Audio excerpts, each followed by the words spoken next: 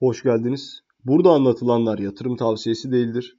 Kimseye al ya da sat demiyoruz. Karnınızdan da zararınızdan da sorumlusunuz.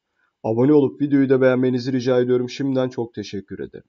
Telegaon 2030 yılı Luna fiyat tahmini maksimum 103.08 dolar olarak karşımızda arkadaşlar. Şimdi e, 2030'a kadar yaşamaya devam ederse hatta şunu söylemek lazım. Mevcut beklenti dahilinde 2028 içerisinde dahi ben bu fiyatlara varabileceğini çünkü yaşamaya devam ederse ilk dalgada da ortalama bu zaman dilimlerinin yeterli olacağını düşünüyorum ki bu vakte kadar biliyorsunuz regülasyonlar gelecek. Şahsen regülasyonların Terra'ya, Luna Coin'e e, olumlu davranacağını düşünmüyorum. Bunu baştan söyleyeyim.